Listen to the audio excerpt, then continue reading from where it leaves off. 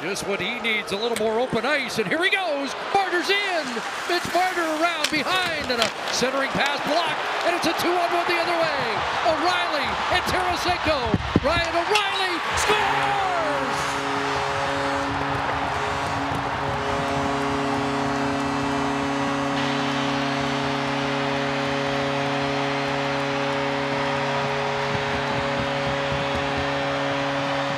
It's 11th heaven.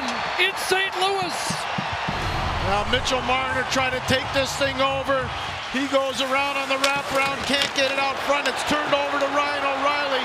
He's coming in on two on one. They're screaming at him, odd man rush, odd man rush. He just takes it, puts it up and over. Freddie Andersen uses the decoy of Tarasenko and puts it up and over. Bar down, and we have a winner. 11 straight for Ryan O'Reilly and the Blues, Chris. They did it the hard way, but they did it in spectacular fashion.